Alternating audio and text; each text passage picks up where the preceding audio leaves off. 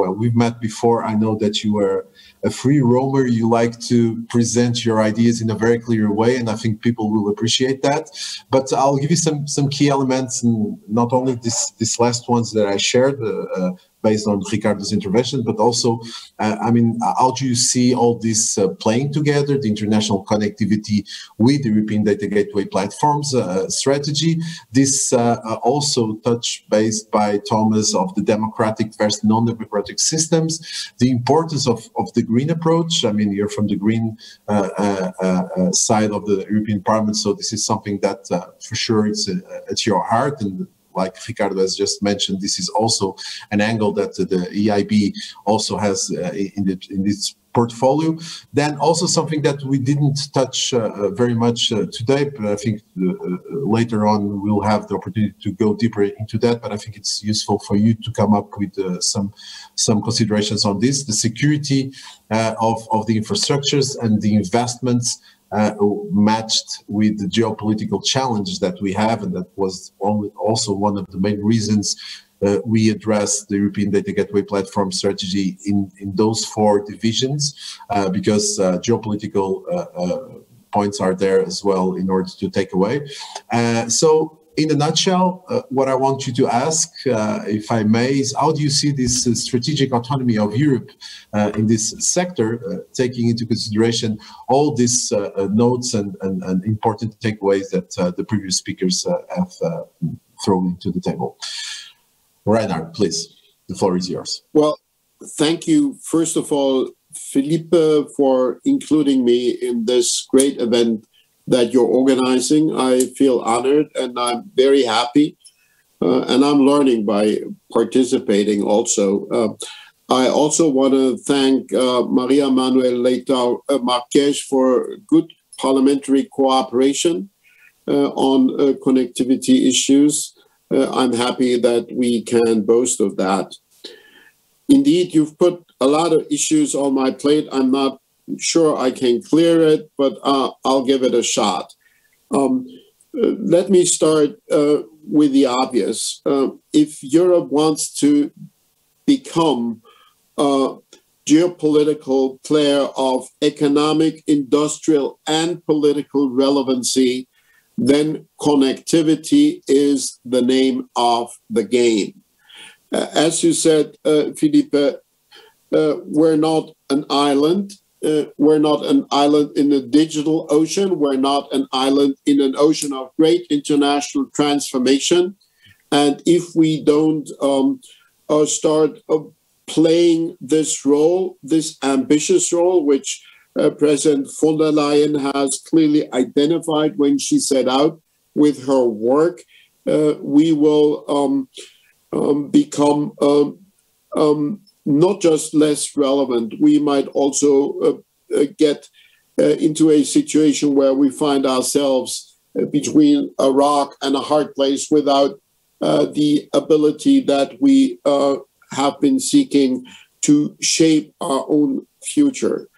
Um, the connectivity strategy that was first put on the plate by Commission in 2018 um, and which maybe we should uh, start addressing by a different name because nobody really uh, understands uh, what connectivity means unless you're a, a, real uh, sort of uh, expert. And, and sometimes I think when when the Chinese talk about uh, Silk Road and we talk about connectivity, they sound like a poet and we sound like a bureaucrat. Uh, so so uh, uh, maybe we should find a better name. Uh, for the lack of such, I, I start uh, talking about Europe's Global Partner Europe program. because indeed, the connectivity strategy is has to be a global um, effort and not just follow the Eurasian arc as we initially set out.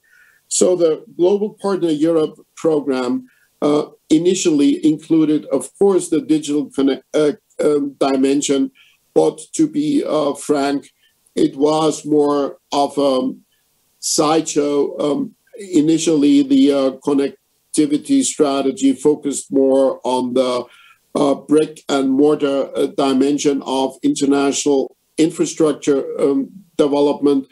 But more recently, we've all understood well that uh, digital connectivity has moved uh, to the very center of infrastructure development. And indeed, uh, sometimes in Europe, we have the tendency of uh, focusing a little too long on the philosophical dimension of our policies uh, and uh, are a bit um, reluctant to move into the pragmatism that we need to uh, create investment opportunities and to um, to show that we understand that infrastructure does matter. And um, uh, that's why I believe it is good that uh, in the novel discussions that we're having, uh, connectivity is uh, being made a part of the EU Global Digitalization Cooperation Strategy.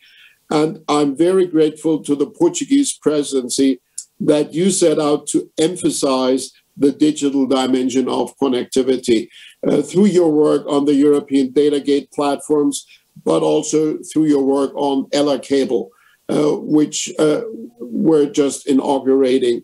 Uh, so, um, in fact, what you're doing is putting wheels under the car of connectivity. We've had a car without wheels, but now we're also um, moving forward uh, by uh, programming NDICI in a way that would also take account of uh, connectivity.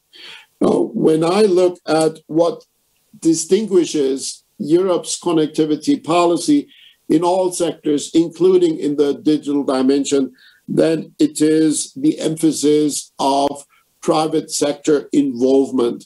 That uh, makes a difference uh, between our strategy and, let's say, the Chinese um, BRI, which is uh, to a dominating um, degree uh, state led.